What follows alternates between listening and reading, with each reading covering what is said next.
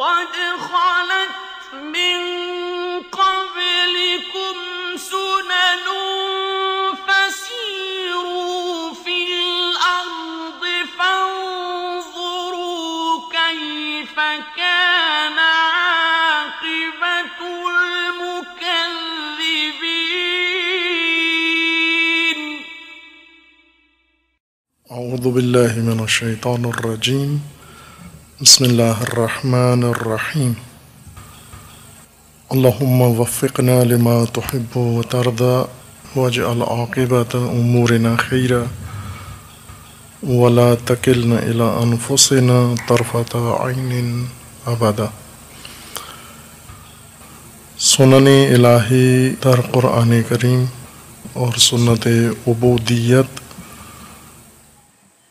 मौजू गुफ्तगु है उबूदियत अल्लाह का कानून है इंसान के लिए। बाकी तमाम निज़ाम हिदायत के नफाज को यकीनी बनाने के लिए और निज़ाम इलाही को इंसानी ज़िंदगी में लागू करने के लिए अवलिन सुन्नत अल्लाह ताला ने उबूदियत मुकर्र फरमाई है। चूँकि उबूदियत सही तरीके से तबलीग नहीं हुआ, ये मफहूम दीगर बाज़ मारफ दीनी की तरह इबहम है, इजमाल है इसके अंदर, बल्कि खलत हुआ है। तहजीब का मफहूम दीन के मानी में मखलूत कर दिया गया है। बहुत सारे दीनी मारफ व तालीमत जो क़ुरान करीम के मुताबिक मुबीन हैं वाज हैं और रोशन, लेकिन दीन शनासी, दीन फहमी के मरहले में इबहम का शिकार हैं। वजाहत जिस तरह उनकी होनी चाहिए, उस तरह से वजाहत नहीं है। और दीनदार इन्हीं मारफ के बारे में या सरगर्दानी का शिकार हैं या किसी गैर दीनी माना को दीनी असलाह के तौर पर पहचानते हैं, जैसे उबूदियत है। उबूदियत व अबदियत व बंदगी से मुराद उमूमन पूजा ली जाती है, पूजा करना। जैसे बुतों की पूजा की जाती है, मबूदों की पूजा की जाती है, इंसानों की पूजा की जाती है। पूजा से मुराद इंसान की ऐसी हालत महबूब या मबूद के सामने, जिसमें खुजू हो, तस्लीम हो और इंसान अपनी अकीदत, इरादत का इजहार करता हो। फ़कत इंसान अपनी हालत ऐसी बना ले जिससे यह तसर मिलता हो कि इस मबूद के सामने, इस शय के सामने इंसान अपने आप को हकीर बना रहा है। अपने आप को उसके सामने खाजे पेश कर रहा है, खुजू पेश कर रहा है और अपने ऊपर उसकी तासीर का मोतकद है। अपनी तकदीर और अपनी उमूर इसकी जानब से समझता है। ये ऐसी हालत बनाए ताकि उधर से वो इसे कुछ अता करे। ये पूजा है। जिस तरह खुशामद है, खुशामद भी एक हालत है इंसान के अंदर। किसी दूसरे इंसान के सामने हाजिर होकर और अपने आप को इंसान छोटा करार देता है और उसे बड़ा समझता है। ये इसलिए है ताकि उसे उकसाए, खुशामद करके उसकी तारीफ़ करे, उसे बढ़ाए, उसकी बढ़ाई बयान करे, ताकि वो खुश होकर, खुशनूद होकर इसे किसी चीज़ से नवाज़ दे, इसे कुछ चीज़ दे दे, अता कर दे इसको। इसे खुशामद कहा जाता है। चापलूसी।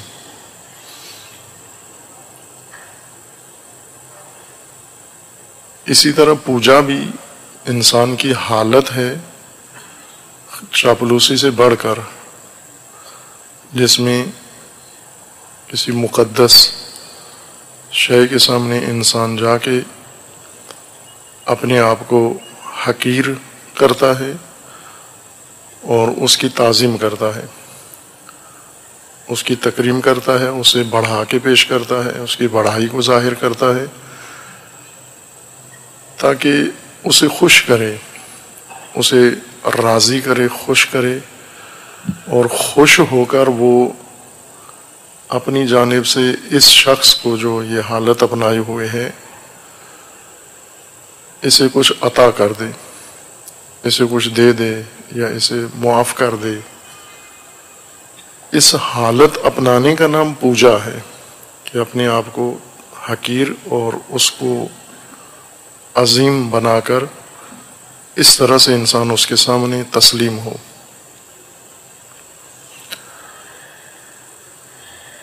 अल्लाह की बंदगी, इबादत व उबूदियत को भी जहाँ माना भी किया गया है तफसीरों में, तर्जमों में उसका माना पूजा ही किया गया है। फारसी में पूजा को परस्तिश कहते हैं। परस्तिश कहें या पूजा एक ही माना है। उमूमन इबादत मुतरदफ करार पाई है परस्तिश के। ये परस्तिश इबादत का अदबी, लगवी माना नहीं है। इबादत का माना लगवी तौर पर या इस्तलाही तौर पर परस्तिश और पूजा नहीं है। लाजमा है इबादत का परस्तिश और पूजा, लेकिन उसके मानी में से नहीं है। इबादत का माना अरबी लगत के एतबार से और कुरान की असलाह के लिहाज से आमादगी आमादा रास्ता जिस पर चला जा सके, उसको कहते हैं तरीके मुअब्बद। और इंसान अब्द या मुअब्बद, आमादा इंसान, जो अल्लाह ताला के अपने रब के फरामीन बजा ला सके। हम दुनिया में इसकी मिसाल मुशाह करें तो ज़्यादा वजाहत होगी। हम दुनिया में दो तरह के मामला देखते हैं। कुछ लोग हैं जो पूजा की हालत में देखते हैं। मुख्तलिफ़ अशिया के सामने पूजा की हालत बनाकर खड़े होते हैं। किसी जगह सजदा की हालत में हैं, किसी जगह सर झुकाए हुए हैं, किसी जगह पेशानी ज़मीन पे रखे हुए हैं, किसी जगह कोई और मुनासिब हालत अपनी बनाई हुई है। उन्होंने जो पूजा के साथ साजगार है यह मुशाह करते हैं। और इसके साथ साथ हम लोगों की मामूल की ज़िंदगी में देखते हैं कि लोग दूसरों की फरमान बरदारी भी कर रहे हैं। मखसूस जो इदारे और महकमे मुनज़म हैं, जिनके अंदर नज़म है मौजूद, वहाँ ये ज़्यादा मुशाह होता है। जैसे फ़ौज में सिपाही अपने सालार की पूजा नहीं करते। कोई हालत ऐसी नहीं, सिपाही इख्तियार करता जिससे सालार की पूजा ज़ाहिर होती हो। लेकिन उसका फरमान मानने के लिए सिपाही हमेशा तैयार होता है। हर हाल में आमादा है। फौजी जवान की तरबियत ऐसे की जाती है कि उसे अपने माफोक सिपा सालार या मफोक अफसर की बात मानने के लिए तैयार कर दिया जाता है, जहनी तौर पर भी, जिस्मानी तौर पर भी। हर पहलू से ये शख्स तैयार होता है अपने माफोक का फरमान मानने के लिए। वो इसे फरमान देता है, खड़े हो, ये खड़ा हो जाता है। वो इसे फरमान देता है, बैठ जाओ, ये बैठ जाता है। वो इसे हुक्म देता है, चलो ये चल पड़ता है। वो इसे हुक्म देता है, बैठ जाओ, ये बैठ जाता है। वो जो भी इसको कहे, मानने के लिए तैयार है। जरा बराबर इस सिपाही के अंदर कोई रुकावट मानी नहीं है, सिपा सालार के फरमान की बजा आवरी में। पूजा नहीं करता उसकी। कभी भी आप देखें कोई सिपाही किसी अफसर को सजदा नहीं कर रहा होता।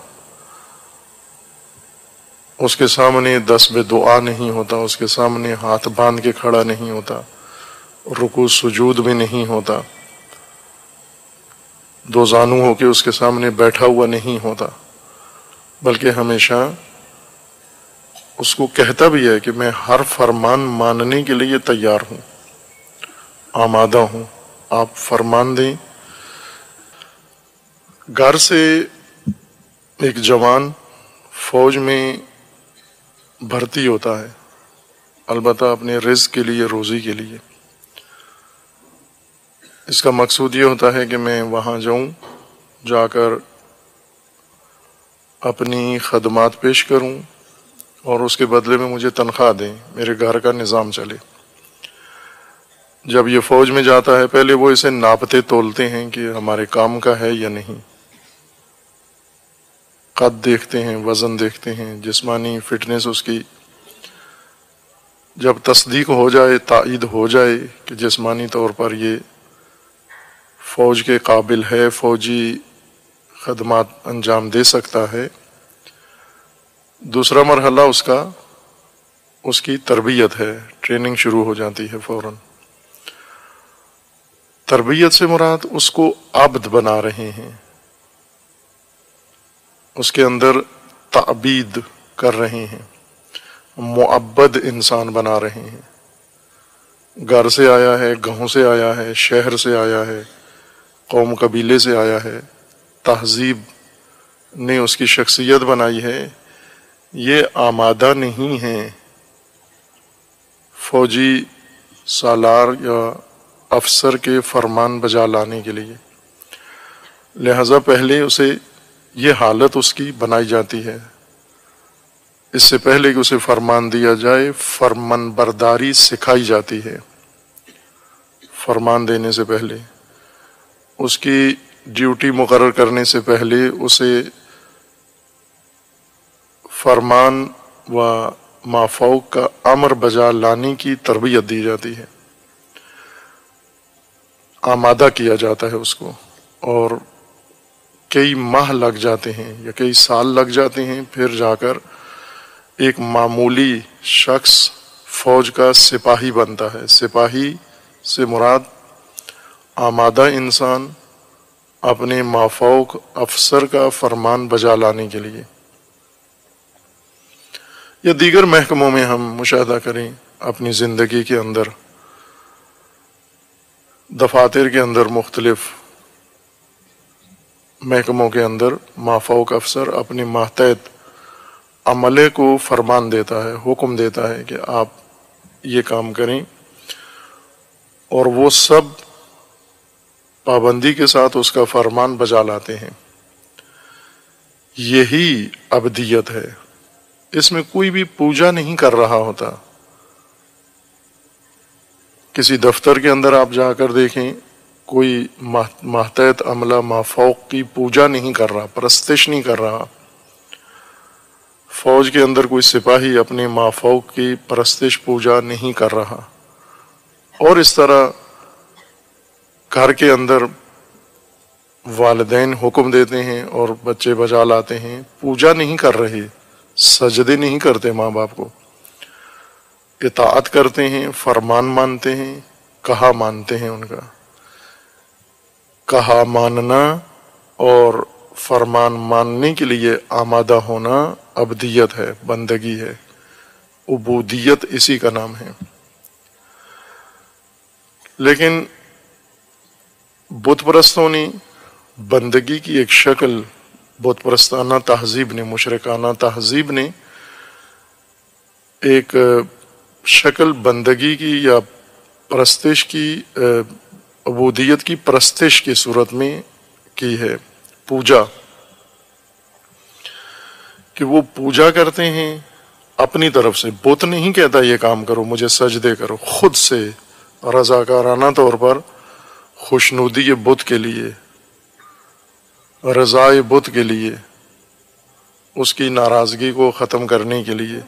उससे कुछ हासिल करने के लिए ऐसी हालात अपनाते हैं जाकर जो इनकी हकारत और उस बुत की अजमत की निशानी है। यानी इस हालत में ये ज़ाहिर करता है कि मैं हकीर हूँ, पस्त हूँ और तू बरतर है और तूने, मैं ये सब कुछ इसलिए अंजाम दे रहा हूँ कि तेरे अंदर ये एहसास पैदा हो कि मुझसे राज़ी हो और मुझे किसी इनाम से नवाज़ दे तो कोई नेमत अपनी मुझे अता कर दे तो बुतों को राज़ी करना, देव देव, देवताओं को राज़ी करना, देवियों को राज़ी करना, अरवाह को राज़ी करना, उसके लिए इंसान खुद से अंजाम देते हैं। पूजा इंसान, पुजारी इंसान खुद से अपनाता है ये अदाएँ, ये हालात जिसकी पूजा कर रहा है, वो नहीं इससे चाहता कि उसकी पूजा करे। ये तहजीब की उबूदियत थी और वो दीन की उबूदियत इसको आपस में मखलूत कर दिया गया है। और हम ये समझे कि अल्लाह ताला का जो फरमान है कुरान करीम में, वमा खलक जिन्ना वल इंसा अबूदून यानी अबूदूनी मैंने जिनों और इंसानों को पैदा किया है इबादत के लिए, ताकि मेरी इबादत करें, बंदगी करें। और बंदगी का माना हमारे जहनों में ये बैठा है कि पूजा करें। वो फिर फ़ौरन जहन में ये सवाल उठता है हर आदमी के जहन में कि अगर पूजा के लिए पैदा किया है, कि जिन भी फ़कत पूजा करें और इंसान भी फ़कत पूजा करें तो फिर ये खाएँ पियेंगे कहाँ से, कमाएँगे कहाँ से, पहनेंगे कहाँ से, रहेंगे कहाँ, अपनी मज़ीद ज़रूरियात कैसे पूरी करेंगे, और निज़ाम अपना मीशत माशरत का कैसे चलाएँगे, अगर इन्हें सिर्फ़ पूजा के लिए पैदा किया गया है। क्योंकि अगर पूजा के लिए पैदा किया गया तो फकत पूजा करना चाहिए। फिर ये सवाल उठता है जहन में। इसके लिए फिर कभी इबादत के माना में तसरफ करते हैं, कभी तावील करते हैं, कभी और उसके तकाजे पूरे करते हैं। जबकि इस तरफ़ ध्यान नहीं देते कि लिया अबूदून से मुराद उबूदियत है, बंदगी। और उससे मुराद यह है कि इंसान और जिन को अल्लाह ने इसलिए पैदा किया है ताकि तमाम उमूर में, हर काम के अंदर अल्लाह के फरमान के मुताबिक अमल करे, इलाही फरमान बजा लाए इतात खुदावन तबारक व करे। जिस चीज़ का अल्लाह ने हुक्म दिया है उसे बजा लाए, जिसे रोका है उसे छोड़ दे। जिसे हम परस्तिश कहते हैं, जैसे नमाज़ को उमूमन परस्तिश कहते हैं, कि नमाज़ में भी पूजा का उनसुर अगरचे मौजूद है, उसमें रुकू है, सजदा है इजहार खजू है, लेकिन बंदगी है चूँकि फरमान अल्लाह का है नमाज़ पढ़ें। इंसान अपनी तरफ़ से अल्लाह को राज़ी करने के लिए यह हरकत नहीं करता। अगर इंसान का ये इंतखब होता, मैं अल्लाह को राज़ी करने के लिए नमाज़ पढ़ूँ, ये पूजा हो जाती। लेकिन चूँकि हुक्म नमाज़ अल्लाह की तरफ़ से है कि नमाज़ कायम करो, अगर इंसान नमाज़ कायम करता है तो ये भी इताअत है, बंदगी, उबूदियत है, फरमानबरी है। अल्लाह का फरमान इंसान बजा ला रहा है। अगर अल्लाह का हुक्म है रोजा रखो वो ये फरमान खुदा बजाया ला जा रहा है। अल्लाह के फरमान की इताअत है, इसलिए अबदियत है, बंदगी है ये। इंसान ने खुद से नहीं चुना रोजा, इंसान ने इंतखाब नहीं की नमाज़ कि अल्लाह को राज़ी करने के लिए मैं ये अमाल अंजाम दूँ। राहिब, रोहबान ये काम खुद से चुनते हैं, गढ़ते हैं। खुदा की खुशनुदी के लिए मसन रोज़े, राहिबों के रोज़े खुद साख्ता हैं। एक रोजा जो हराम रोजा है और राहिब रखते हैं, आजकल भी रखते हैं, और बड़े मुकदस माब लोग रखते हैं ये रोजा, वो है चुप का रोजा। बोलना नहीं है, बात नहीं करनी। शरीयत मुकदसा में हराम है ये रोजा रखना। चूँकि हुक्म खुदा नहीं है, फ़कत हज़रत मरियम को हुक्म था कि आपने खामोश रहना है, वो भी उस ख़ास मौके पर, जब उनकी कोहम उन्हें तहमत बहतान लगा रही थी, उस मौके पर अल्लाह का फरमान था कि आपने अपने दिफा में, सफ़ाई में खुद नहीं बोलना, खामोश रहना है। रोज़ा नहीं था। हुक्म खुदा था कि आपने अपना दिफा खुद नहीं करना, अल्लाह ने मोजे के ज़रिए से आपकी इसमत को इस बात करना है। और ऐसा ही हुआ। हज़रत मरियम खामोश नहीं, और बच्चे की तरफ़ इशारा किया, और शीरखार बच्चा एक दो रोज़ का वो बात करने लगा, बोलने लगा। ये ख़ास हुक्म था हज़रत मरियम के लिए। चुप का रोज़ा इससे साबित नहीं होता। लेकिन बड़े बड़े मुकदस माब चुप का रोज़ा रख लेते हैं, खामोशी का रोज़ा। या एक रोज़ा और राहिबों ने ये रखा हुआ एक इबादत, रियाजत है कि मुँह में पत्थर डाल लेना।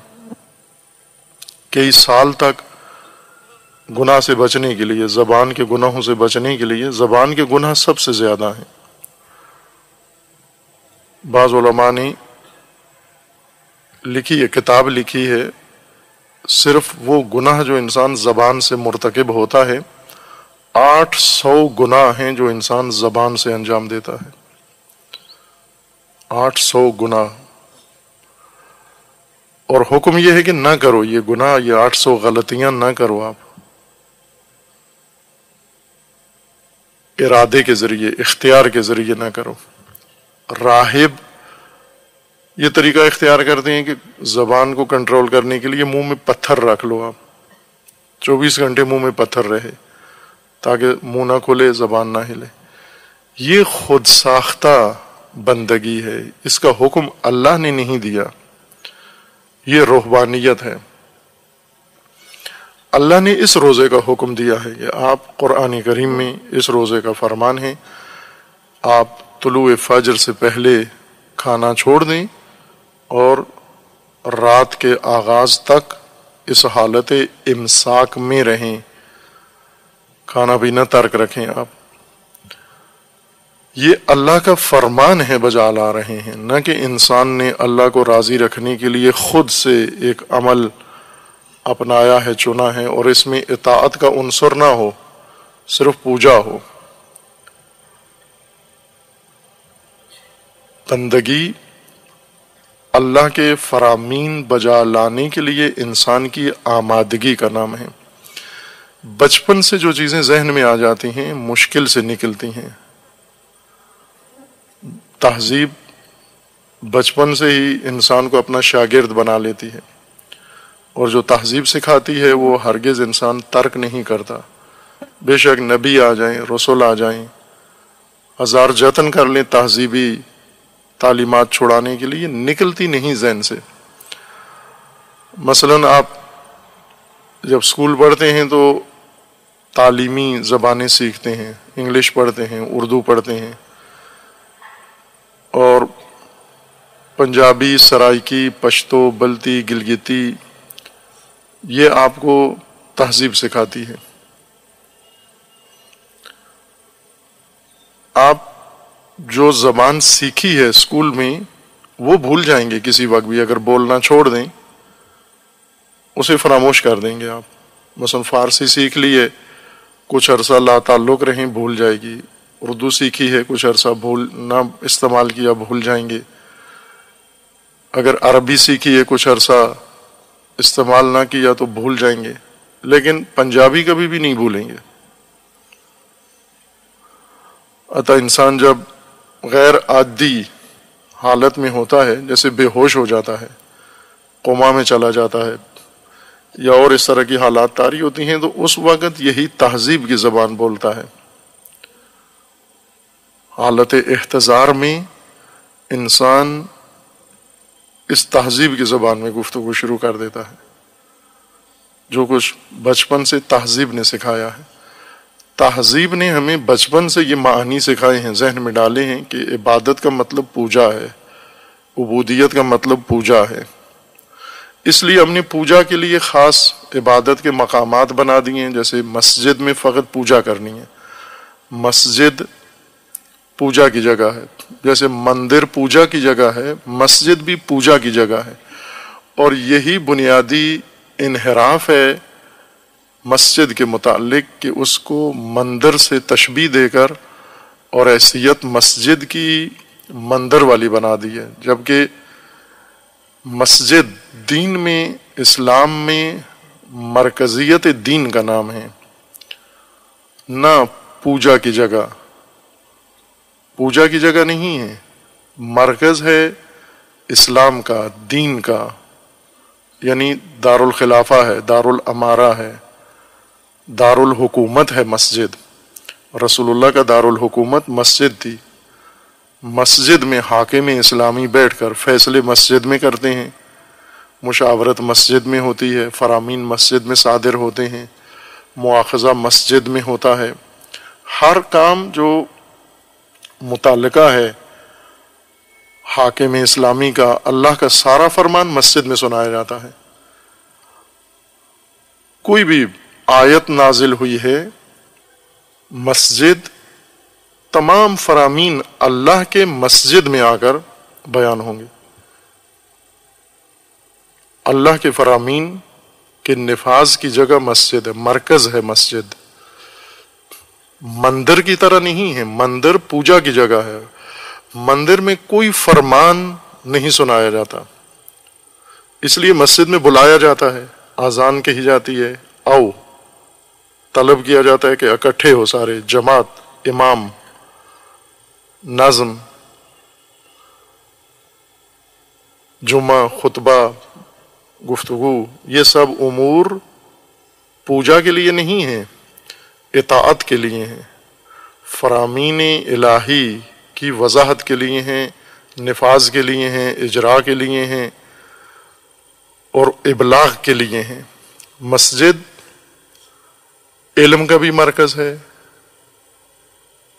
फरामीन के सुदूर का भी मरकज़ है, फैसलों का भी मरकज़ है, सियासी अहदे तयन करने का भी मरकज़ है, लश्कर तश्कील देने का भी मरकज़ है, जंगी उमूर को कंट्रोल करने का भी मरकज़ है। इंसानों के घरेलू मामलात उमूर अंजाम देने का भी मरकज़ है। मुस्लिमीन की शिकायत सुनने का भी मरकज़ है। उन शिकायत को बरतरफ करने का भी मरकज़ है। मस्जिद हरगिज शबी है, मंदिर नहीं है। न कलीसा के शबी है। कलीसा व मंदिर पूजा की जगह है। क्योंकि वहाँ फरामीन की इजाज़त नहीं है। मसाजिद को भी देखा देखी बना दिया गया मंदिर व मस्जिद की तरह कि खामोशी के साथ वहाँ जाकर आप बैठ जाएँ। और ना इमाम आपसे कुछ कहे, ना आप इमाम से कुछ कहें, वो खामोशी से खड़ा हो जाए, आगे आप खामोशी से खड़े हो जाएँ, पीछे नमाज़ ख़त्म हो, बातचीत किए बगैर आप बाहर आ जाएँ, वो अपने काम से चला जाए, आप अपने काम से चले जाएँ। ये मस्जिद नहीं है तस्वुर जो कुरान में या इस्लाम में मस्जिद का है, ये नहीं है वो मस्जिद, ये मंदिर का इकतबास ले लिया गया है।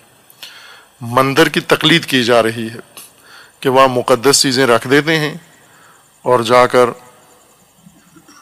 मंदिर में जो लोग जाते हैं, सबसे पहले उन तमाम चीज़ों को चूमते हैं, जो जो मंदिर में है। चौखट चूमते हैं, दरवाज़ा चूमते हैं, मूर्तियाँ चूमते हैं, उन मूर्तियों से कोई चीज़ बंधी हुई हो, वो चूमते हैं। और मंदिर के अंदर कुछ भी हो, आप कोई चीज़ भूल आए हैं फ़र्ज़ करें, आप अपना मोबाइल भूल आए मंदिर के अंदर। जो बाद में आएगा पुजारी, वो चोरी नहीं करेगा, वो ये समझेगा कि ये देवी का मोबाइल है, मुकद्दस, और वो उसे उठा के बोसा दे के फिर वहीं पर रख देगा वो उसको। क्योंकि जो चीज़ मंदिर में है, वो चूमने के लिए है, बोसा देने के लिए है, एहतराम के लिए है, मुकद्दस है। मंदिर में गए हो, कोई फैसला करवाने, मंदिर में गए हो, कोई मसला हल करवाने, मंदिर में गए हो, कोई शिकायत लेकर, मंदिर में गए हो, कोई एतराज़ लेकर, मंदिर में गए हो, कोई उलझन लेकर, ना, कुछ भी नहीं। बल्कि मंदिर में बात करना ही ममनू है, खामोशी व सुकूत।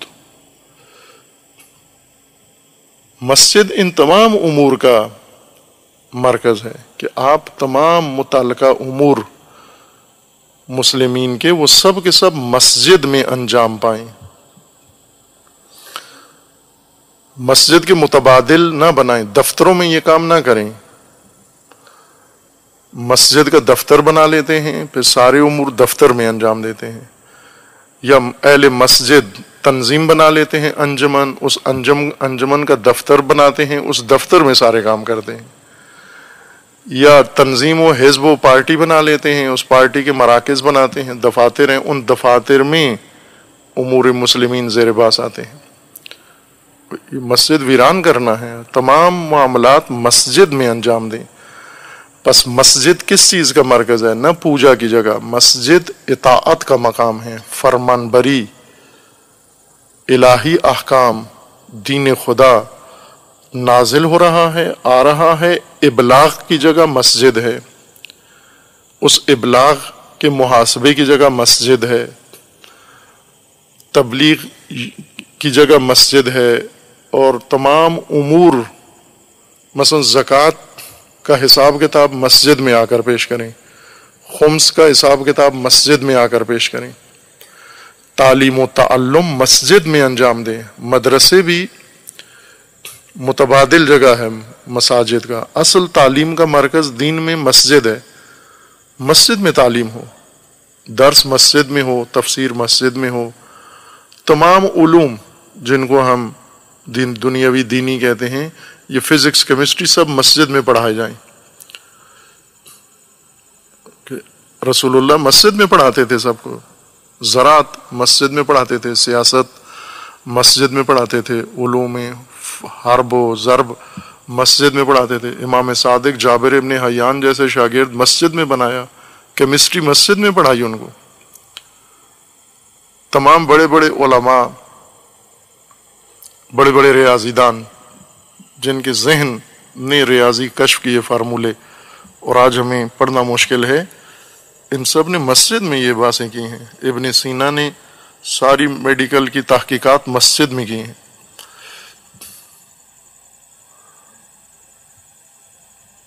मस्जिद मरकज है। न कि पूजा की जगह है। मंदिर के मुशाबे मस्जिद बना लें मुक़दस मकाम, कि खामोशी से आए, खामोशी से चंद, काम अंजाम दे के फिर वापस जाके, बाकी उमूर कहाँ पूछें? फैसले के लिए कहाँ जाएँ? शिकायत अपनी ले लेके कहाँ जाएँ? मसाइल का हल कहाँ से करें? उलझने कहाँ से दूर करें? अपनी, ये फिर अपने खुद मराकज़ बनो ये दूसरों से पूछो जाकर। मसाजिद पूजा की जगह बन जाएगा।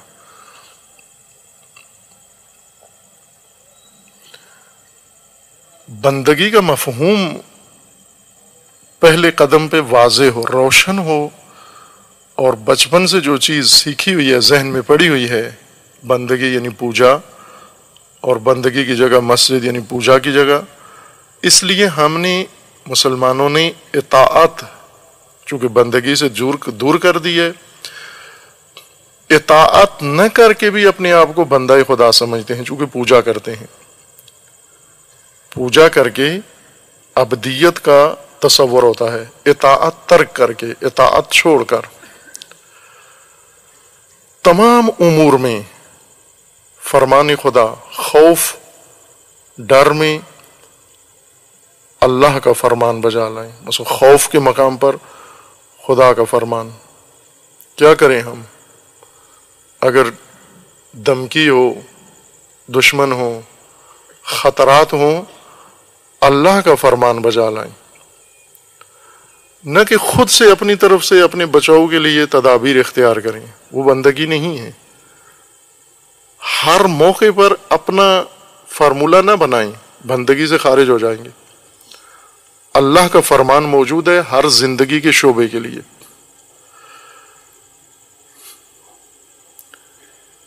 खतरनाक काम यह अंजाम पाया है कि पूजा अल्लाह के लिए रह गई है, इताअत दीगर अरबाब के लिए। दो तबके अरबाब के जो इंसान ने बनाए हैं, अरबाब दो तरह के इंसान ने इख्तियार किए हैं।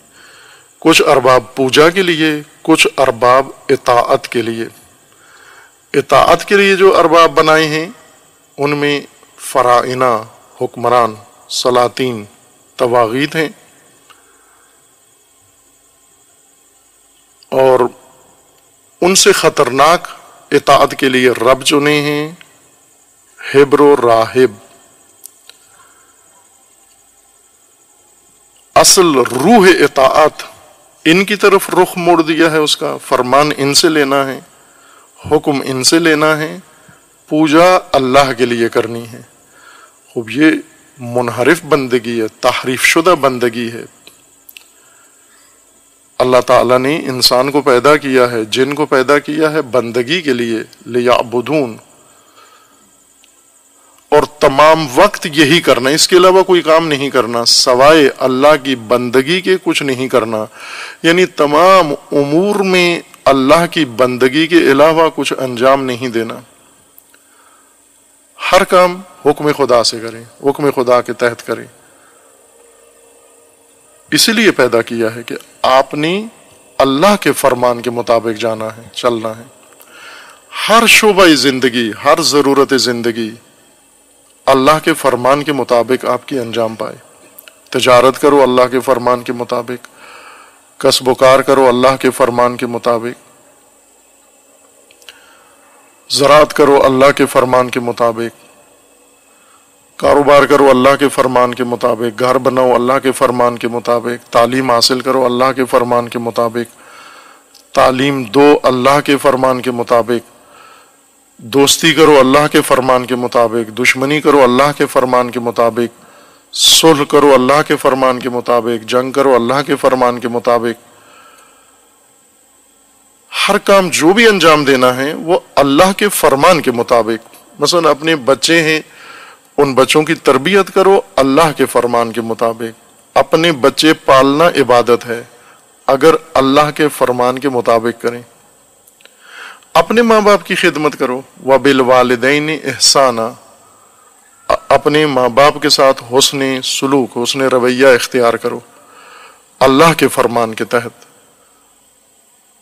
अगर अल्लाह के फरमान के तहत नहीं कर रहे और वालदेन का फरमान मानते हैं, ये वालदेन परस्ती है। यानी माँ बाप को रब बना लिया है। जो शख्स भी फरमान देता है, कहीं से भी इंसान अगर हुक्म लेता है, किसी का कहा मानता है और हम उसका कहा, तस्लीम करते हैं। मान लेते हैं कि ठीक है, जो आप कह रहे हैं, ये दुरुस्त है, मैं तस्लीम करता हूँ। आप ये जहन में रखें कि ये शख्स इस फरमान में, इस हुक्म में तर्जुमान है किसी का, नुमाइंदा है किसी का। किसी की नुमाइंदगी में मुझे ये फरमान दे रहा है। अगर तो ये तर्जुमान है दीन का, नुमाइंदा दीन का, यानी अहकाम खुदा मुझे दे रहा है, पहुँचा रहा है। और इसको इख्तियार भी दिया गया है, इस काम का। हमने उसकी बात अगर मान ली तो ये उसको रब नहीं माना, उसकी बंदगी नहीं की, ये खुदा की बंदगी है, ये वसीला बना है, अल्लाह के फरमान का हम तक। लेकिन अगर ये तर्जुमान अल्लाह का नहीं है ये फरमान दे रहा है अल्लाह के अलावा किसी और की नुमाइंदगी में। शैतान की नुमाइंदगी में दे रहा है, खुद से फरमान बना के दे रहा है, या किसी ताबूत की नुमाइंदगी में दे रहा है, किसी फिर की नुमाइंदगी के तौर पर दे रहा है। आबा व अजदाद की नुमाइंदगी में ये फरमान दे रहा है। तहजीब का नुमाइंदा बनकर फरमान दे रहा है। ये भी रब है। उस सूरत में जिसका ये फरमान पहुँचा रहा है, उसकी रबूबियत इस फरमान बरी से इंसान के लिए साबित हो जाएगी। इंसान उसे रब मानता है। हेब्रो राहिब दो ऐसे मंबा हैं, इनहराफ के लिए कुरान ने ज़िक्र किए हैं कि अक्सर फरामीन इंसान दस्तूरात इनसे लेता है। हेब्रो राहिब से। हेब्र उलमा की एक किस्म है, राहिब भी उलमा की एक किस्म है। हेब्र ठाठ बाट के उलमा, हेब्र राहिब दो किस्में हैं। उन लोगों की जो दीन के नाम पर, अल्लाह के बजाय, अल्लाह के नाम पर, अल्लाह के अहकाम नहीं पहुंचाते, रब्बानी नहीं है।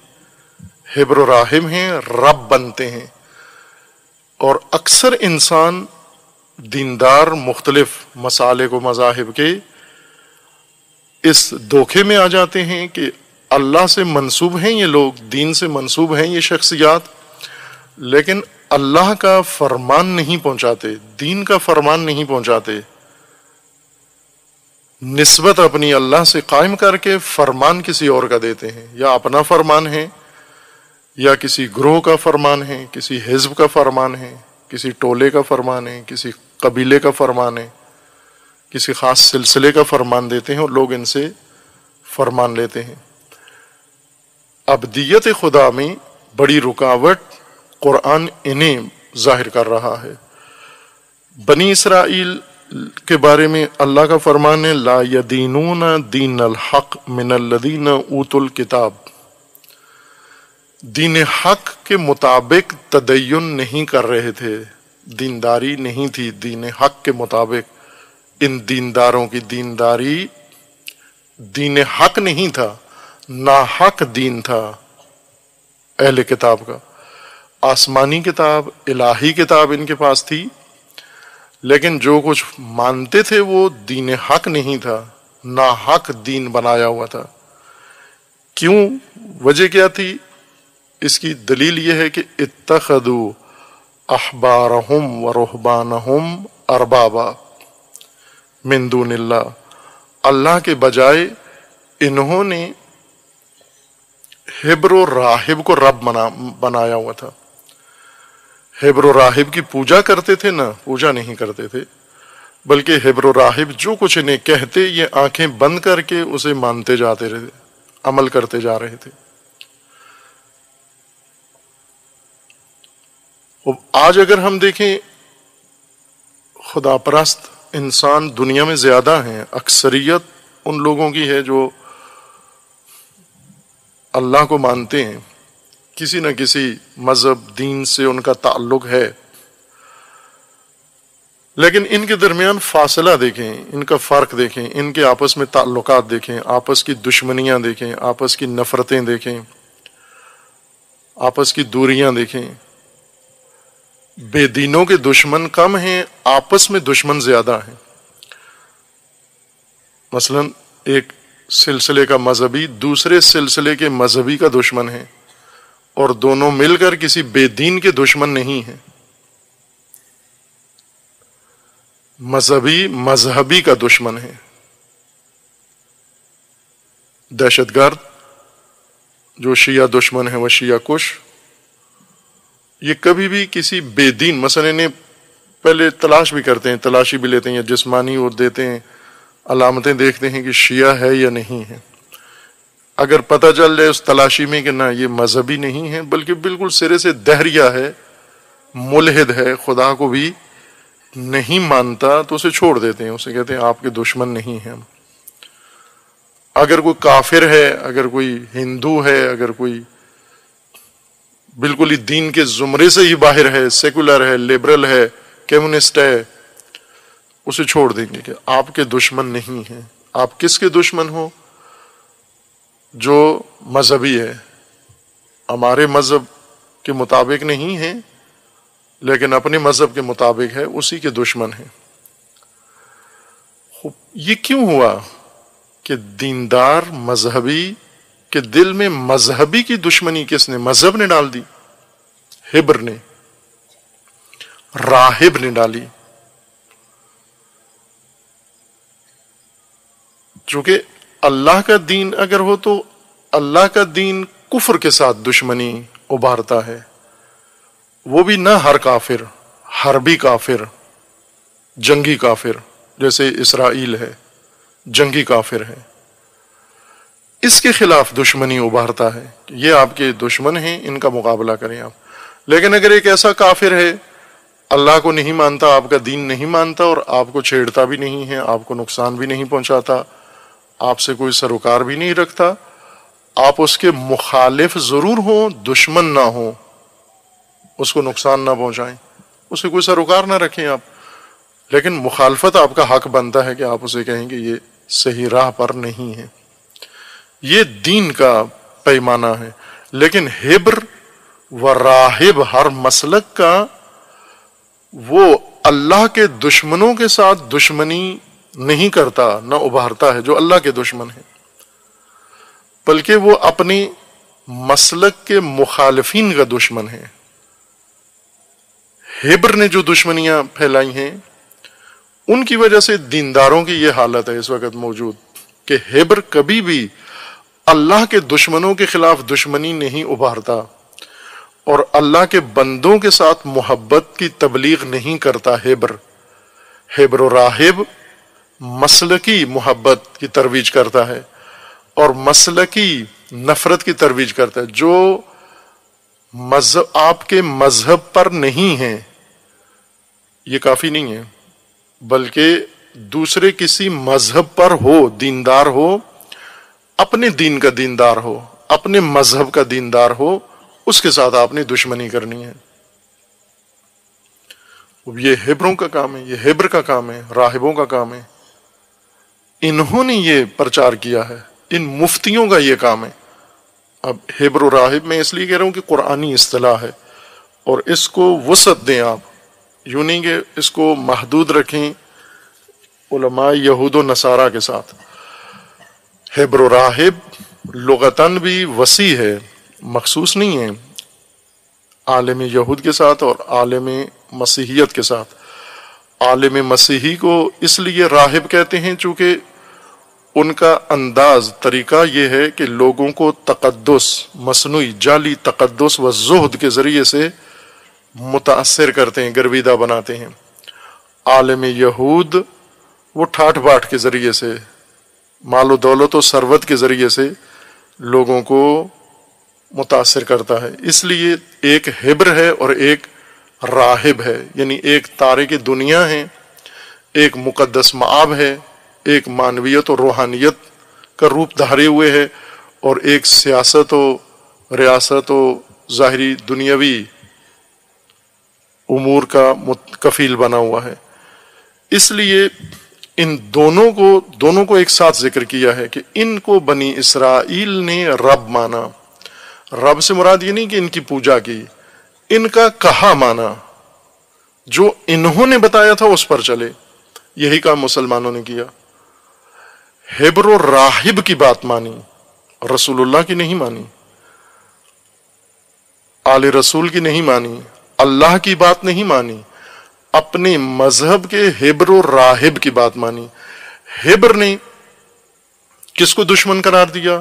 काफिर को नहीं कहा कि ये आपका दुश्मन है।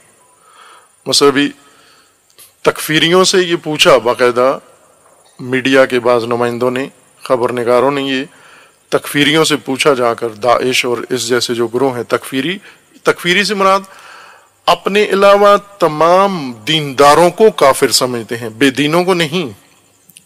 तकफीरी बेदीनों को काफिर नहीं समझते।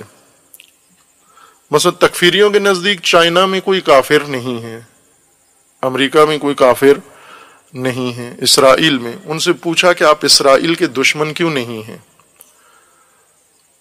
तो कहा इसलिए कि उनका हमें हुक्म नहीं है, हमें हुक्म है शीयों का, ये काफिर है।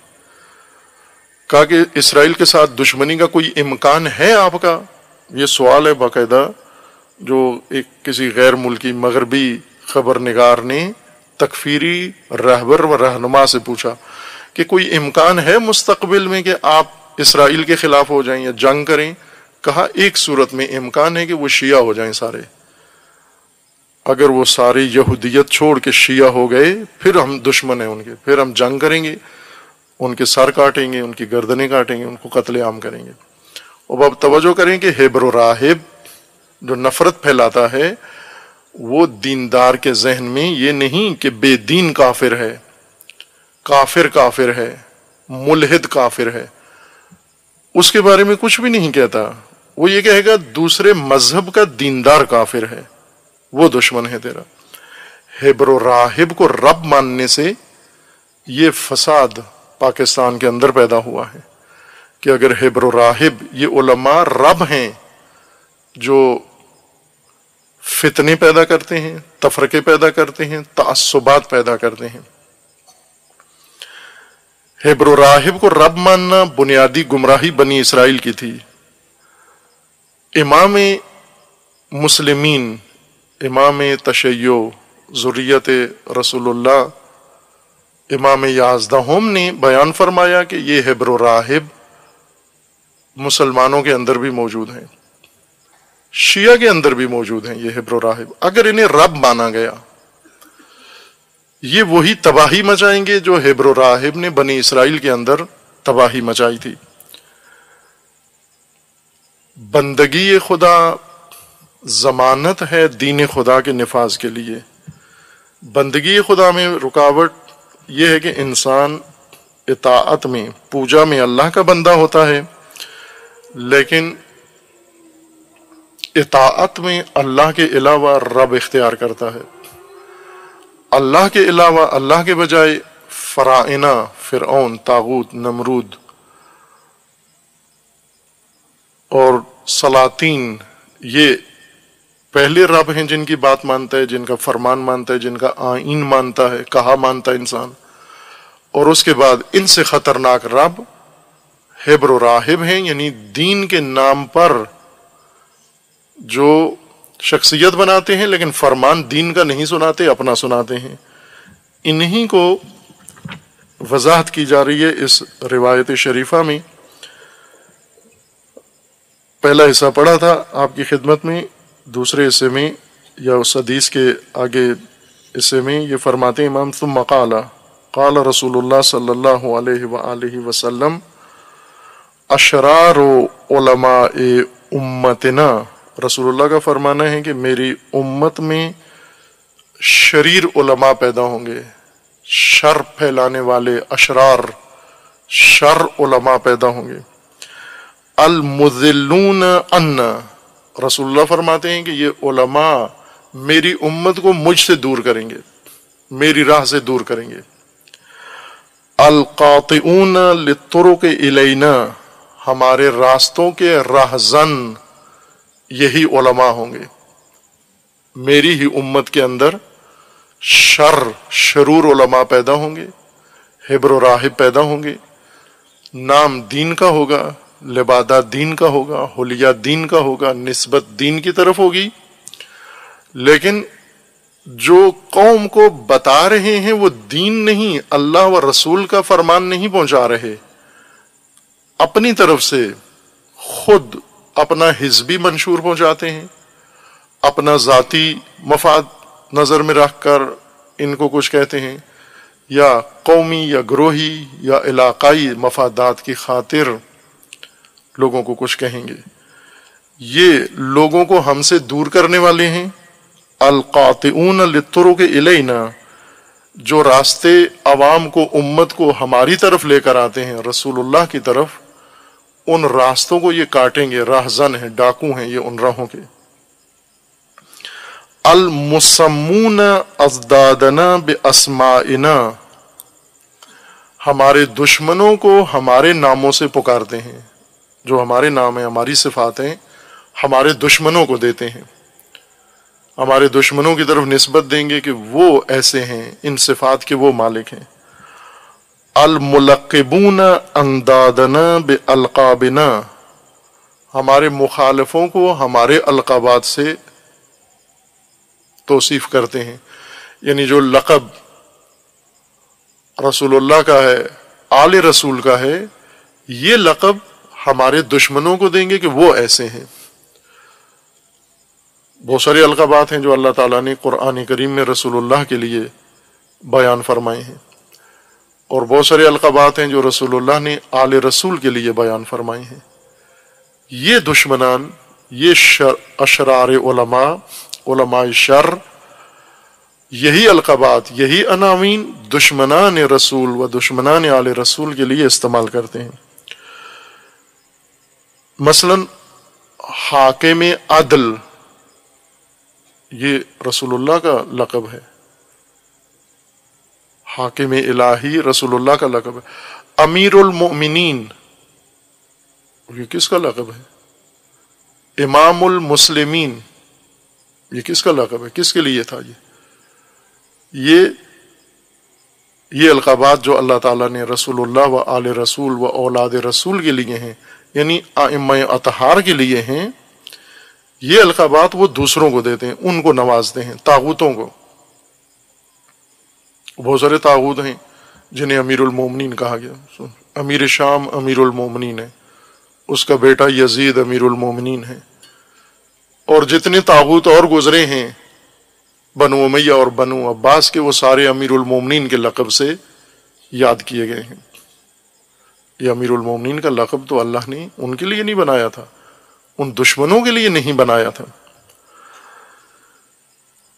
युसलून अलहिम सलाम दरूद पढ़ते हैं हमारे दुश्मनों पर ताकूतों पर। वहम लान मुस्तकून जबकि वो लानत के मुस्तक हैं, ये रसूलुल्लाह का फरमान है। वयल अनून व नहन बेकरामात मगमूरून, और हमारे ऊपर तान तशनी करते हैं, जबकि हम खुदा की करामतों और खुदा की नेमतों में से मुनवर है, नवाजे हुए हैं। वब सलवात व सलवात मलाइकतिल मुकर्रबीन अलैना, अन सलवातहिम अलैना मुस्तगनून। हम इन दरबारियों की सलवातों के और सलाम दरूद के मोहताज नहीं हैं, बेनियाज हैं। क्यों? कि हम पर अल्लाह और मलाइका सलवात पढ़ने वाले और भेजने वाले हैं। सुम मकाला फिर इमाम ने यह कौल रसूलुल्लाह बयान फरमाने के बाद कौल अमीरुल मोमिनीन बयान फरमाया तुम मकाला ले अमीर कीला ले अमीर मोमिनीन। अलैहिस्सलाम अमीरुल मोमिनीन अलैहिस्सलाम से सवाल किया गया, मन खैर खल्क़िल्लाह बाद आइम्मतिल हुदा? आइम हुदा आइम मासूमीन अलैहिस्सलाम के बाद खैर खल्क कौन है? सबसे बेहतरीन मखलूक रुए ज़मीन पर कौन है? यह अमीरुल मोमिनीन का फरमान है। पैरवान अमीरुल मोमिनीन में या रात? अमीरुल मोमिनीन से लें। कौन है सबसे बरतरीन, बेहतरीन मखलूक रूए ज़मीन पर आइम हुदा के बाद? व मसाबी दुजा आइम हुदा जो चराग हैं, हिदायत के और अंधेरी रातों के काला अमीरुल मोमिनीन ने जवाब दिया, अल इदा सलहू। उलमा हैं, सबसे बेहतरीन मखलूक रुए ज़मीन पर, अगर उलमाए साले हों, सालहीन में से हों, मुखलसिन में से हों वाक़ खौफ खुदा रखने वाले उलमा हों, ये बेहतरीन खल के खुदा हैं रुए ज़मीन पर आम खुदा के बाद। किसके लिए? आम खुदा, बेहतरीन खल के खुदा हैं किस लिए? न कि दूर से सलाम करने के लिए, इताअत के लिए, पैरवी के लिए, फरमानबरी के लिए, हिदायत के मंबा के तौर पर, मार्फत के मंबा के तौर पर, खैर खल्क, बेहतरीन मखलूक, रुए ज़मीन पर आइम हुदा हैं। ज़मीन पर सबसे बेहतरीन मखलूक अल्लाह की आम अतहार हैं। न सिर्फ़ सलामी के लिए जहाँ से गुजरी, सलाम करते जाएँगे, ये सबसे अच्छे हैं। ताबूत के दफ्तर में जा रहे हो तो सलाम इनको कर जाए। नज़र न्याज इनकी मान के जाएँ कि हमें फलां किसी फसाद में मौका मिल जाए। इसलिए नहीं है खैर खल इताअत के लिए बेहतरीन है पैरवी के लिए बेहतरीन है इकतदा के लिए बेहतरीन है रहनुमाई के लिए बेहतरीन है इमामत के लिए बेहतरीन है विलायत के लिए बेहतरीन है हुक्मरानी के लिए बेहतरीन है सियासतदानी के लिए बेहतरीन है सल्ता, सुल्तानी व सल्तनत के लिए बेहतरीन है। इनके बाद कौन है? आइम्मा के बाद कौन है? अमीरुल फरमाते हैं अलमा न कि सबसे मुकद्दस कौन है? जैसे जानवरों में सबसे मुकद्दस कौन है? हम ये कहें, जैसे गाय है मसन हिंदुओं के लिए। खूब क्या करती है? कुछ भी नहीं करती, सिर्फ़ हमने उसका एहतराम करना है। उसने हमें कुछ भी नहीं देना। इस तरह उलमाए सालेह मुकद्दस नहीं है, बल्कि आइम्मा के बाद सबसे बेहतरीन मखलूक उलमाए सालहीन है। क्यों? इतात के लिए, मार्फत के लिए, तालीम के लिए, तरबियत के लिए। हुकूमत के लिए, हर चीज़ के लिए, ये है सबसे मुनासिब। बादज आम हुदा सालहीन सबसे बेहतर हैं। कीला, अमीरुल से पूछा गया कि सबसे शरूर कौन है? शर तरीन मखलूक, गुमराही की मखलूक, जिससे बचना ज़रूरी है, जिससे दूर रहना ज़रूरी है। कीला फमन शरार खलकिल्ला बाद इबलीस व फिर व नमरूद इबलीस फिर और नमरूद जो आला दर्जे के शरूर हैं मनाबे शर हैं इमाम शर हैं जलालत गुमराही का मंबा हैं लीडर हैं ये गुमराही के इनके बाद सबसे शरीर तरीन कौन है? सबसे शर कौन है? वबादल मुतसमीन बे असमाकुम वल मुतलकबीन बे अलकाबिकुम और आपके दुश्मनों के अलावा, यानी सबसे शरीर तरीन लोग, इबलीस है, मखलूक फिर है, नमरूद है, और फिर और नमरूद के बाद दुश्मनान आइम्मा हैं।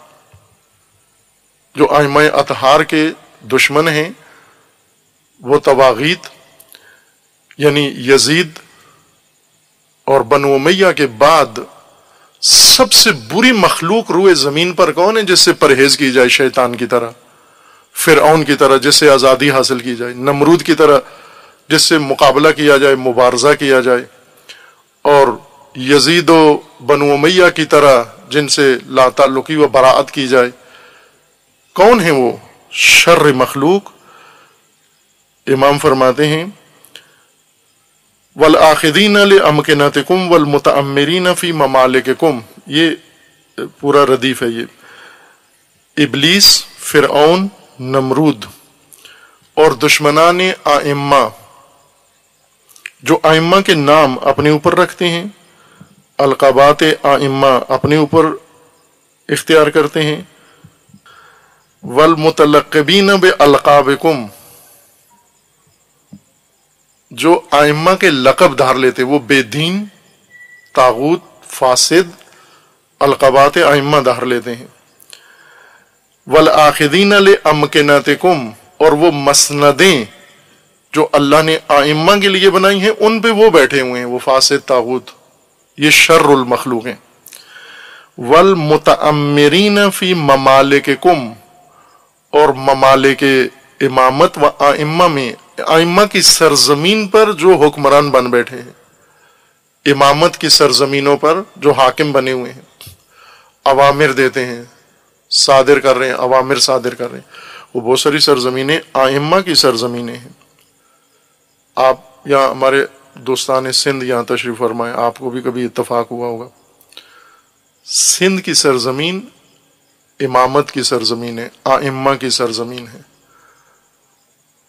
वहाँ मसलक जो भी हो किसी का, हिंदू हो तो भी आइम्मा से मोहब्बत, अहल बैत से मोहब्बत रखता है, सुन्नी भी मोहब्बत रखता है, शिया भी मोहब्बत रखता है। ये आइम्मा की सरजमीन है। लेकिन सरजमीन आइम्मा पर हाकिम कौन है मुतअमिर कौन है, अमीर उसका कौन बना हुआ है, वडेरा कौन बना हुआ है, कब्जा किसका है? और यह सरजमीन इमामत दुश्मनान आइम्मा के इख्तियार में तदरीजन जा रही है। काफ़ी हद तक उन्होंने कर लिए, अपने इख्तियार में ले लिए। सरजमीन गिलगित बल्तिस्तान, सरजमीन इमामत है, सरजमीन पाराचनार, सरजमीन इमामत है। और बहुत सारे ऐसे इलाके जो इमामत की सरजमीन है। जहाँ आइम्मा के पैरोकार रहते हैं, आइम्मा को मानने वाले रहते हैं। लेकिन अम्र कौन कर रहा है? फरमान कौन दे रहा है? वल मुतमरीन फ़ी ममालिक कुम, आपके ममालिक में, आइम्मा के ममालिक में जो अमीर बन के हुक्मरानी कर रहे हैं। इनके बाद इबलीस फिर नमरूद और आइम्मा के मकाम पर जहाँ आइम्मा को होना चाहिए था वहाँ पर बैठे हुए ताबूतों के बाद सबसे बुरा कौन है? बशरियत के लिए सबसे खतरनाक, मुसलमानों के लिए, शिया के लिए सबसे बदतर कौन है? अमीरुल मोमिन से पूछा गया। काला, अल इदा फसदू, आलिम फासिद। उलमा जब फसाद का शिकार हो जाए। हिब्र राहिब जब फासिद हो जाए। ये इंसानियत को तबाह कर देता है। इसकी तवसत से सारे गुमराह होते हैं। होमुल मुजहरून लिल अबातिल। ये बातिल फैलाने वाले होते हैं, बातिल की तरवीज करते हैं। बातिल के मुरवज हैं। अलकातिमून लिल हकायक हकायक छुपाते हैं। कहते हैं, मसलहत नहीं है, ये बातें मत करो। ये अभी तक आलात चौदह सौ साल से मुनासिब नहीं है। आप अपना दीन लोगों को खोल के बयान कर सको।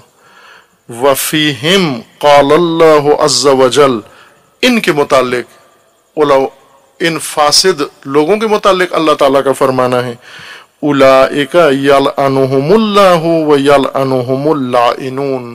इन पर अल्लाह की लानत है और लानत करने वालों की लानत है।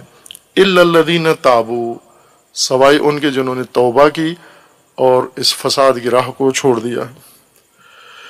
ये पूरी वो मुकम्मल हदीस है जो आपकी खिदमत में इस आय करीमा के इस नुक्ते की वजाहत के लिए बयान की कि यहूद ला यदीनून दीन अल हक। अहल किताब दीन हक की पैरवी नहीं करते थे। क्यों नहीं करते थे? इतखदू अखबार व रोहबान अरबाबन मिंदूनिल्ला इसलिए कि अल्लाह के बजाय अरबाब, हेबर राहिब को अरबाब मानते थे। अरबाब न कि इनकी पूजा करते थे, रब मानना पूजा नहीं है, कहा मानते थे? इनकी बातें मानते थे। जिस राह पे ये डाल देते थे, उसी पे चलते रहते थे। और ये सब फासिद थे खा मुकदस माब हों या कर्रफर के हिब्र अपनी मफादात की खातिर, अपनी शख्सियत की खातिर, अपने अब मसीही जो राहिब हैं तारे की दुनिया है, सबसे फसाद तारीख ने इनका ज़्यादा ज़िक्र किया है।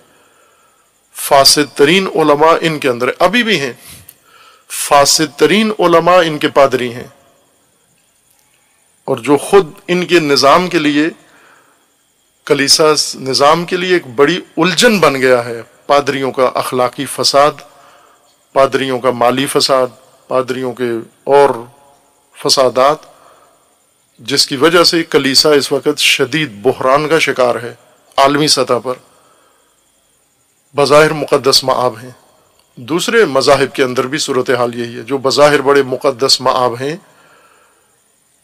वो इस तकदस के लिबादे में रब बने हुए हैं। इमामत की राह से लोगों को दूर किया है। अपने रास्ते बताए हैं। आज भी बता रहे हैं।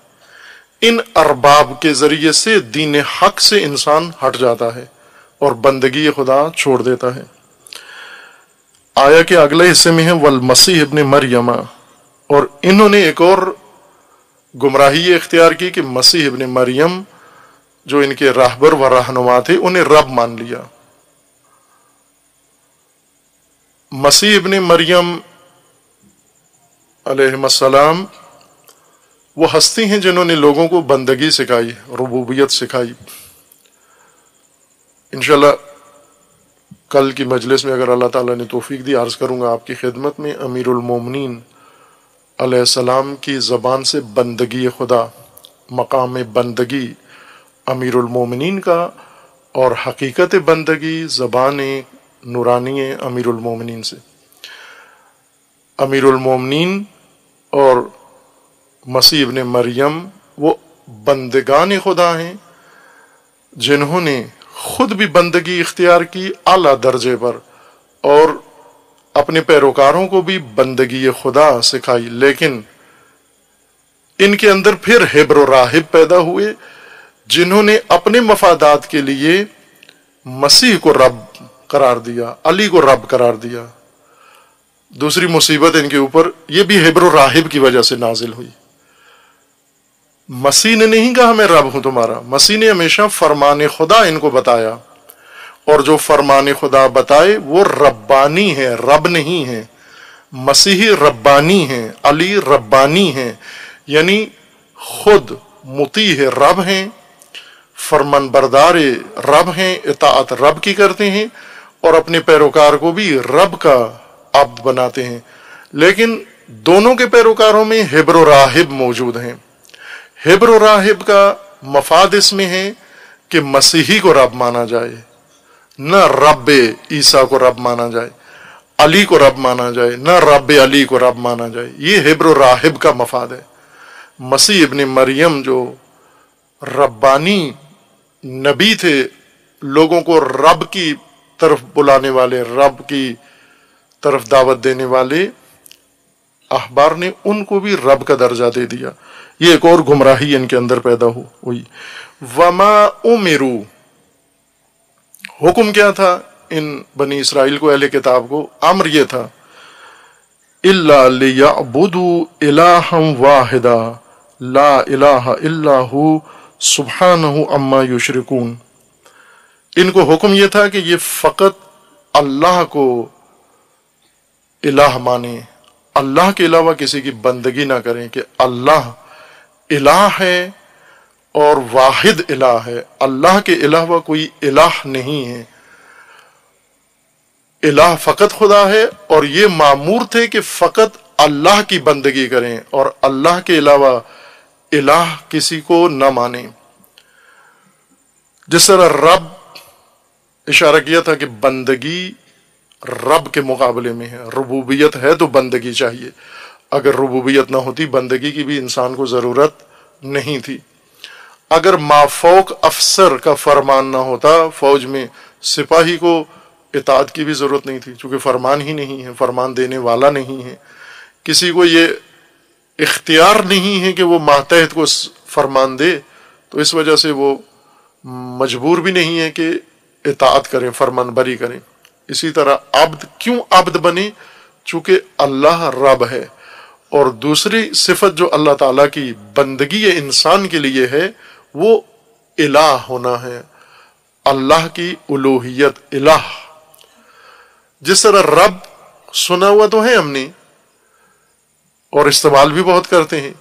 हर जबान के अंदर रब का लफ्ज कसरत से इस्तेमाल होता है, लेकिन गहराई में उसे खोला नहीं था मुशाह नहीं किया था कि इसके मानी क्या है।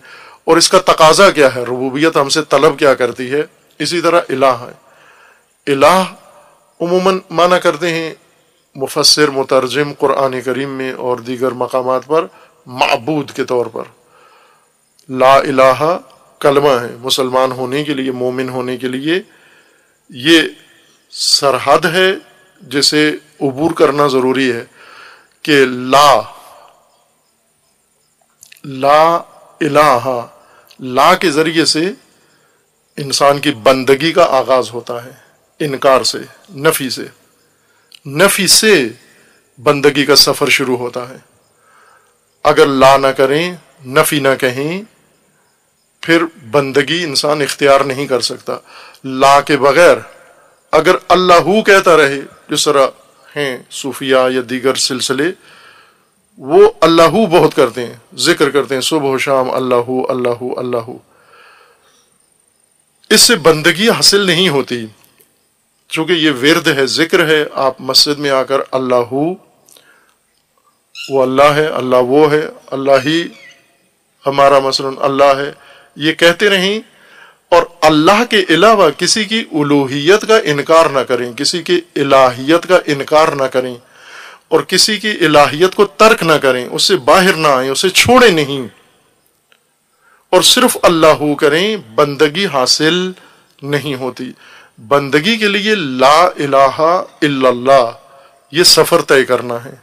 ला का तर्क करना है।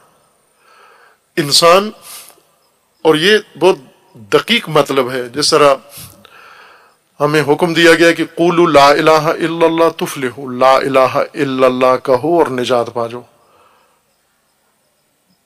ऐसे ही है, जिसने ला इलाह कह दिया, निजात पा गया। यानी ला इलाह कह भी दिया, ला इलाह कर भी दिया, ला इलाह का तकाजा भी पूरा कर दिया जिसने, वो हकीकतन निजात याफ्ता है, मुफलिहून में से है। ला जिसने कह दिया, सबसे सख्त ला कहना है। हम नमाज़ में भी अल्लाह की बारगाह में आ जाते हैं। अल्लाह की तरफ़ रगबत हो जाती है। गैरुल्लाह से नाता नहीं टूटता। वो नमाज़ में भी साथ ही होता है। ला कह के नहीं आते अल्लाह की तरफ़। उसे लेके आते हैं। ला के बजाय लेके आते हैं उसे अल्लाह के पास कि ये भी मेरा महबूद है, ये भी मेरा महबूब है, ये भी मेरा पसंदीदा है। ये भी इलाह है, आप भी इलाह हैं। इसे लेकर आपके पास आया हूँ। छोड़ के नहीं आया। लिहाजा जब नमाज़ जैसे लम्हात खालिसतन जब इंसान अल्लाह की बारगाह में हाजिर होता है, उस हुजूर में भी ये इलाह साथ होता है, अल्लाह के अलावा। तवज्जो इसी की तरफ़ होती है। वो मुमकिन है माल हो, मुमकिन है कोई दोस्त हो, मुमकिन है कोई रिश्ता हो, रिश्तेदार हो, मुमकिन है कोई शौक हो, मुमकिन है कोई खौफ हो, कोई भी चीज़ हो, किसी का गिरफ़्तार है इंसान, जिसे ला कहना चाहिए था लेकिन नहीं कहा। मुश्किल काम ला कहना है, इल्लल्लाह बहुत आसान है। अल्लामा इकबाल के बकौल के जबानी कह भी दिया ला इला तो क्या हासिल? दिलो निगाह जो मुसलमान नहीं तो कुछ भी नहीं। अब आप खुद गौर करें कि हम अल्लाह की तरफ़ अगर आए हैं तो किस किस को ला कह कर आए हैं? क्या इलाह छोड़ कर आए हैं? कोई इलाह ऐसा है जिसे छोड़ा है हमने, तर्क किया हो? अगर साथ लेकर आए हैं, बंदगी इख्तियार नहीं की छोड़कर आए हैं और छोड़ रहे हैं, और फकत अल्लाह इलाह रह जाए और अल्लाह के अलावा तमाम इलाह को ला कह दें फिर इंसान आमादा होता है फरमान खुदा मानने के लिए। लेकिन जब तक अल्लाह के अलावा बाकी इलाह को ला नहीं कहता, उन सब के फरमान के लिए तैयार होता है। इसलिए फरमाया कि इन्हें हुक्म यह था कि आपने फकत अल्लाह की बंदगी करनी है, चूँकि अल्लाह इलाह है। अल्लाह के अलावा कोई इलाह नहीं है, लेकिन इन्होंने ये नहीं किया।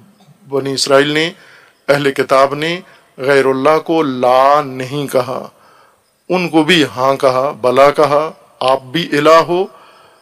मुमकिन है जबान से न कहा हो, इलाह हो, लेकिन अमलन इलाह का दर्जा दिया, इलाह का प्रोटोकॉल उनको दिया, इलाह की तरह उनकी इतात की, इलाह की तरह उनकी बंदगी की, इलाह की तरह उनकी फरमान बरदारी की, इस वजह से वो भी इनके आलिहा शुमार होते हैं। अब कुरान तारुफ करवाएगा कि इंसान ने कितने आलिहा इख्तियार किए हैं और उन आलिहा की वजह से अल्लाह की बंदगी से महरूम हैं। बाकी बाद में इंशाल्लाह, वसल्लल्लाहु अलैहि